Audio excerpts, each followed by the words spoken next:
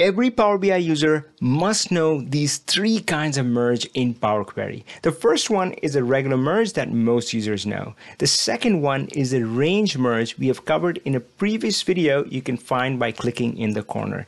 And today we'll be talking about the self merge. So, what is a self merge?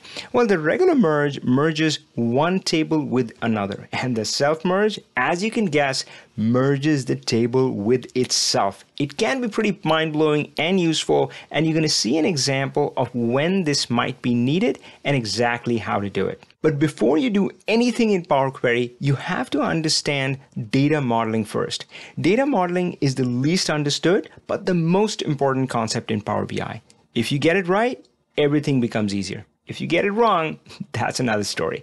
But all you have to do is comment the word guide below and I'll send you my Power BI data modeling guide for free. I'm Avi Singh, a Power BI Microsoft MVP, and through my online program on learnpowerbi.com, I have helped thousands of business users master Power BI and build beautiful reports in under 30 days. So let's get started on the self merge. And first thing we're going to do is look at the problem that we're trying to solve. So this was sent in to me as a question, and you can send me your Power BI questions too, either by messaging me on LinkedIn or just by email at avi at avisingh.com. So this one is restaurant data, and you can see it's got orders on a specific date, location, the customer name, and what they ordered. Now, the interesting thing here is that some orders are made complimentary. And this is how it is being recorded in the system. So you notice for this one, order number five, we have all the regular records to show exactly what they had ordered. And then due to some reason, maybe they were the chef's friend or maybe something went wrong during the service. We don't have that information, but due to some reason, that order was made complimentary. Now, what our task is to detect which orders were made complimentary and then when we are trying to calculate our, our, revenue based on what we had earned we need to zero these ones out so order number five these prices or income would be zeroed out and of course we'll scan through the rest of the table and do the same thing now you can see already that why this is a scenario for a self merge because uh, in this case, the data that we are looking for exists in the table itself, but on a different row. Once we're able to do that in Power Query, we can build a pretty nice dashboard showing us what the price build was and then removing the part that was complemented and then showing the total price charged, uh, seeing that as a percentage and then analyzing it by perhaps location, seeing that as a trend and seeing more details and other ideas. But let's get into Power Query and see how we can get this done. So here we are in this file. And by the way, you can go to learnpowerbi.com slash download to get this file. So we're going to step into our kitchen of Power BI, the query editor. And we're going to first point this to our file. So before I actually show you the self-merge, we're going to do it the old-fashioned way because once you see that, then you're going to understand and appreciate the self-merge itself. So let's select that file. And I'm going to click on the order data table and hit OK to bring it in. And I'm going to rename this one as order data source and I'm going to right click and say I do not want to load this file. So I unchecked the enable load. And now I'm going to reference this to really just focus on the, the orders that were made complimentary. So I renamed that. And now I'm going to go in here in product, find out the one that says complimentary, hit OK. And now it's filtered just to those. Now I really just need the order numbers here. That's all that I care about. So I'm going to remove other columns. So I pop back over to Excel and I want to explain something that is really simple but fundamental to understand in Power Query is that often people struggle with trying to do some logic because the information that you need is on a different row. So if we need to figure out whether this order number was made complimentary, but that information is on a different row, and what we're trying to do is pull that information to uh, the rows so we can make that judgment. So, all right, let's get back to Power Query. So now we have this order number complimentary. And now I'm going to go to source and I'm going to reference it again. And this is going to be our final order data, but using a simple merge. And now I can merge it with that other table, order data complimentary. And again, this is just a regular merge. And then we're going to see the same thing using a self merge. So I selected the order number on both sides, hit OK.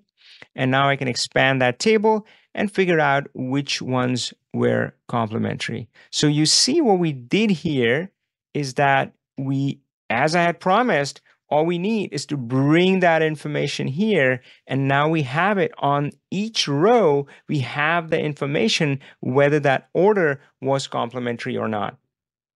Uh, so I'm just going to rename this column. So I'm just going to do that in the uh, in the formula bar itself. So instead of product one, let's say complimentary. That's good enough. And now we're going to add a custom column saying maybe price um, price updated. And we're going to say if complimentary is is not null, so if it has a value, that means, eh, you know, the value, the only value we have is complimentary. So that means I'm going to zero out the price. So else, I'll just carry forward the original price. And that is our measure here. So you can see how in this row, yeah, the, whenever the order was complimentary, the price gets zeroed out, but otherwise the price just gets carried over. That's exactly what we wanted. So we're good to go. Maybe I'll change this to a currency. So that is how we're going to do it using a simple merge. And so I'm just going to right click and uncheck enable load. So this is the final table that's going to be loaded.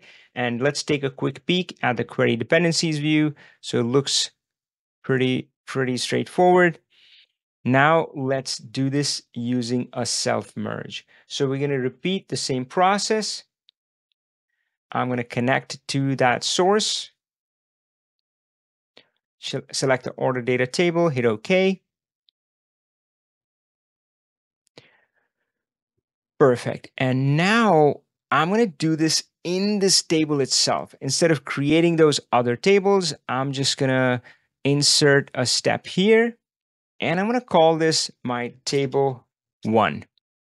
And then I'm going to create a table two. So I'm just going to, I like using these steps sometimes as documentation. So complimentary, oops, orders, right? So, and again, I just do that so I can visually scan it and see, yep, I see what I'm doing here. Uh, and actually, let's just go here and I'm going to do the same filter that I had done earlier. But again, all of this is happening now within this table. So I got that filtered set of rows. And again, I'm just, I can remove those other columns. And I'm going to call this table two. And now, well, here's where the self merge kicks in because I want to merge these two tables together. All right, so I'm going to insert a step and you can see that I use this for documentation. When I'm re referring to this, then I can see and I can see, oh, I did something special here.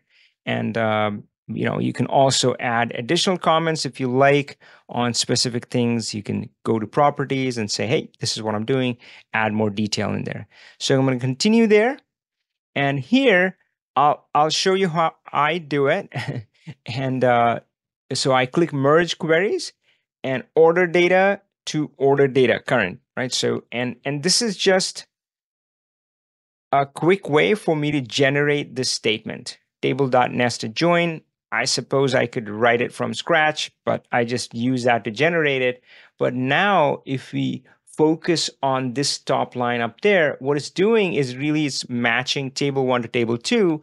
And guess what? That's what I had named my steps. So I'm just gonna overwrite that. So say, yep, this part is table one. and connect that with table two. And this is going to do my self merge. So now the statement is taking these two tables and merging them together. And um, I'm going to expand that field and bring in the product. And just as before, I have that complimentary information. And I'm going to change this heading again.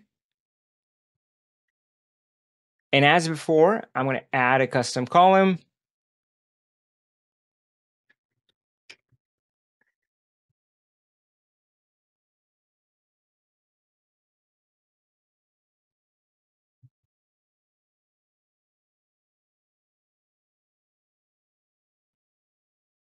Hit OK, change it to currency. Now, this gives you the same result as this other table, but it's a single query. So you can see where a regular merge ended up creating these multiple queries, the self merge created one elegant query. And that is the big advantage of the self merge. Now, in this scenario, we only had to do a self merge once, but I have run into several cases where there was more complicated logic and I had to do uh, multiple self merges. And if I had to use a regular merge for that, it would end up in lots and lots of queries. So self merge can make your queries more elegant, but it is definitely not for beginner. If you're just starting out, stick with a regular merge. But if you're a little bit advanced, you can definitely give self merge a try. But remember, before you do anything in Power Query, you first have to understand how to build your data model. Just comment the word guide below and I'll send you my free Power BI data modeling guide. I'll see you in the next one. Take care and power on.